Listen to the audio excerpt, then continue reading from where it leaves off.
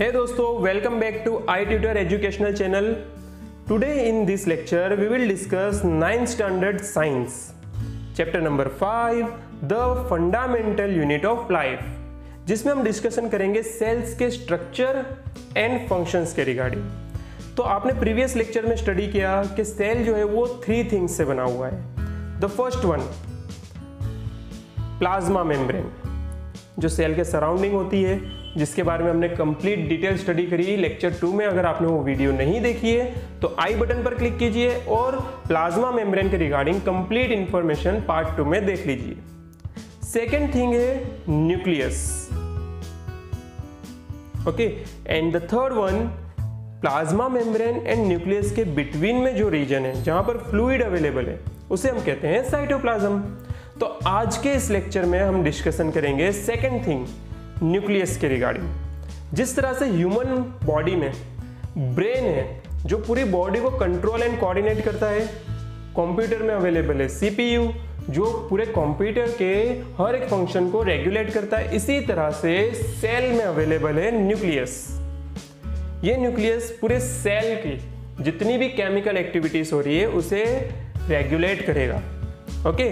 ज़्यादातर ये जो न्यूक्लियस है सेल के सेंटर रीजन में अवेलेबल होता है, लेकिन कभी कभी ये साइड में भी होता है ओके? तो सबसे पहले हम डिस्कशन करेंगे स्ट्रक्चर ऑफ़ द न्यूक्लियस तो न्यूक्लियस के सराउंडिंग एक लेयर अवेलेबल है, एक कवर अवेलेबल है, जिसे हम कहते हैं न्यूक्लियर मेम्ब्रेन ये कवर लेयर के थ्रू आप न्यूक्लियस को सेल में इजीली आइडेंटिफाई कर सकते हैं ओके ये कवर के अंदर अवेलेबल है टाइनी छोटे छोटे होल्स जिसे कहा जाता है पोर्स ये पोर्स के थ्रू मटेरियल न्यूक्लियस के inside and outside easily transfer हो सकते हैं. आपको ये न्यूक्लियस में जो थ्रेड लाइक स्ट्रक्चर्स दिख रहा है, इसे कहते हैं क्रोमेटिन नेटवर्क जब हम इसे जूम करेंगे तो इसमें से निकलेगा क्रोमोजोम ओके और क्रोमोजोम के जो लेयर को हम सेपरेट करेंगे तो उसमें हमें मिल जाएगा डीएनए डीएनए का फुल फॉर्म है deoxyribonucleic acid. आपने बॉलीवुड मूवीज़ में सुना होगा कि एक्चुअली ये चाइल्ड ये पेरेंट्स का है कि नहीं, वो चेक करने के लिए पेरेंट्स एंड चाइल्ड दोनों का डीएनए टेस्ट करते हैं। तो अगर एक्चुअली चाइल्ड वही पेरेंट्स का है तो पेरेंट्स एंड चाइल्ड का डीएनए मैक्सिमम परसेंटेज के साथ मैच होगा। 100 परसेंट मैच नहीं होगा, क्योंकि पूरे वर्ल्ड में जितने भी ऑर्गेनिजम्स हैं, सबका डीएनए डिफरेंट है। ओके पेरेंट्स के साथ मैक्सिमम परसेंटेज से मैच होगा। ओके एक्चुअली ये डीएनए के अंदर अवेलेबल है फंक्शनल सेगमेंट जीन्स ओके ये जीन की कोडिंग होती है। आप इसे पिक्चर में देख सकते हैं अलग अलग कलर्स के थ्रू डिस्क्राइब की हुई है। ब्राउन स्काई वायलेट ये कलर्स की कोडिंग है। ओके ये कोडिंग हर एक इंडिविजुअल ह्यूमन में अलग अलग है। Okay. Now, we discuss the function of the nucleus. कि एक्चुअली न्यूक्लियस का वर्क क्या है? तो जो न्यूक्लियस में क्रोमेटिन उसमें क्रोमोजोम क्रोमोजोम में डीएनए और डीएनए का जो जीन है, ये रिस्पॉन्सिबल है कुछ कैरेक्टर्स को माइग्रेट कराने के लिए. पेरेंट्स से कुछ कैरेक्टर्स ये ट्रांसफ़र करता है उनके ऑफस्प्रिंग दैट मीन्स उनके चाइल्ड में. ये प्रोसेस को हम कहते हैं इनहेरिटेंस और जो कैरेक्टर ट्रांसफ़र हो रहे हैं, उसे हम कहते हैं इनहेरिटेड कैरेक्टर्स ये कैरेक्टर्स पेरेंट्स से उनके चाइल्ड के लिए गिफ्ट्स हैं। फॉर एग्ज़ाम्पल यहाँ पर हमने एक पिक्चर रखी हुई है। इसमें डैड है मॉम है एंड सन है। तो जो सन है, उसे आइस एंड ईयर्स का जो स्ट्रक्चर है, उसकी डैड से गिफ्ट में मिला हुआ है। एंड मॉम की तरफ़ से हेयर कलर एंड हाइट ये मॉम से गिफ्ट में मिली हुई है।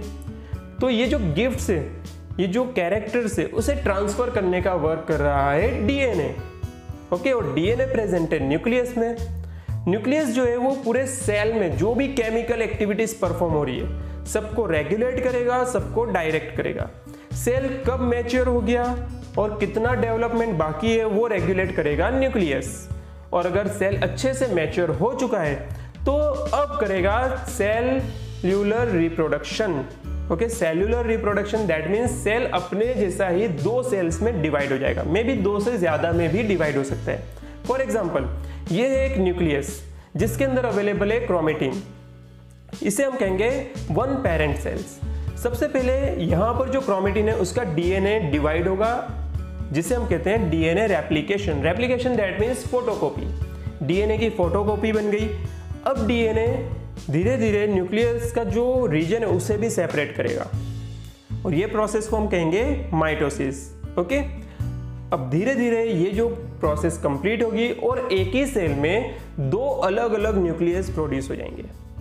अब ये दोनों अलग न्यूक्लियस प्लाज्मा मेम्ब्रेन को भी सेपरेट करेंगे और साइटोप्लाज्म को भी सेपरेट करके टोटली टू न्यू सेल्स बन जाएँगे, जिसे हम कहेंगे टू आइडेंटिकल डॉटर सेल्स ये प्रोसेस ग्रोथ में बहुत ही इंपॉर्टेंट है।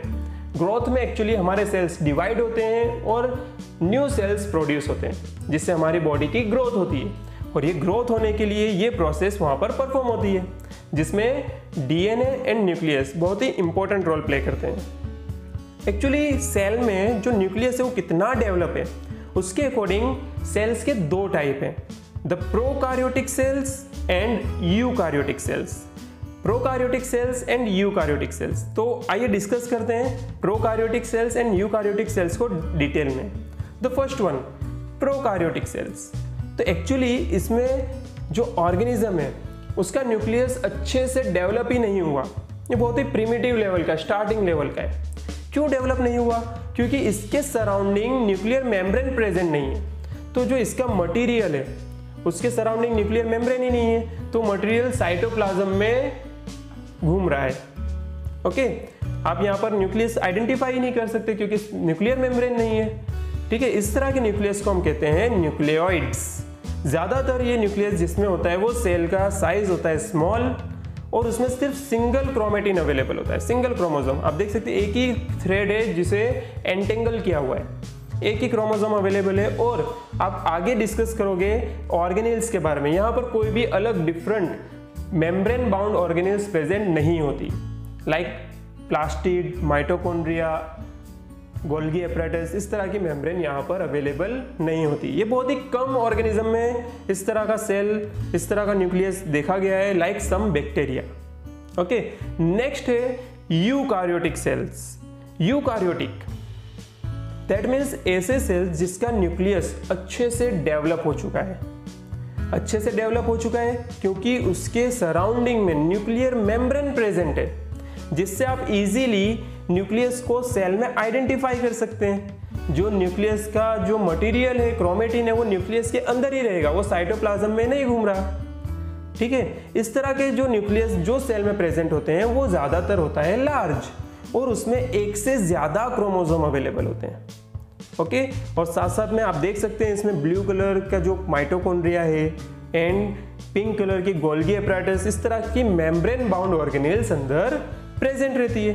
ज़्यादातर जो एनिमल सेल्स हैं प्लांट सेल्स हैं, वो यूकार्योटिक्स हैं। ओके सो फ्रेंड्स यहाँ पर न्यूक्लियस की कंप्लीट डिटेल फिनिश होती है। अगर आपको ये वीडियो अच्छा लगा है इंफॉर्मेटिव लगा है तो प्लीज़ लाइक कीजिए।